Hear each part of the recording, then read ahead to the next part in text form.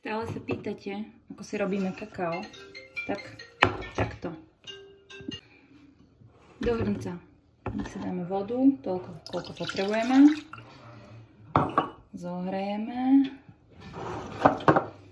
Tu máme kakao. Dáme si no, takú polievkovú lyžicu alebo 20 gramov, ak sa vám chce vážiť. A nevaríme, iba zohrievame. Zoberieme si narežku, premiešame. Takže iba voda a kakao. Môžete si pridať škoricu, môžete si pridať sladidlo.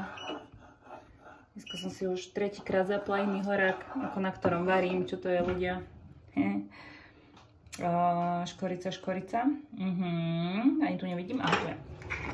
Trošku škorice, ja mám rada škoricu v kakao. Niekto si dáva čili, niekto si dáva kardamom, môžete si dať mako prášok, môžete si dať rúžu, prášok, úplne všetko, čo máte radi. Keď chcete, môžete si ho aj zjemniť mliekom. Mm, je to úplne na vás. Takže rozpustíte ho v nevriacej vode, alebo v horúcej a môžete si ho takto zohrievať hodinu alebo 15 minút alebo pol dňa, ako chcete. Čím dlhšie to budete robiť, tým bude intenzívnejšie a tým bude silnejšie naplnenie vašich prianí.